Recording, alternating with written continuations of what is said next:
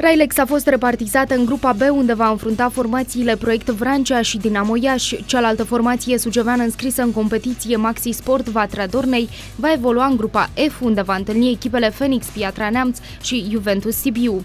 Conform regulamentului, primele două clasate în fiecare dintre cele șase grupe se califică în faza următoare.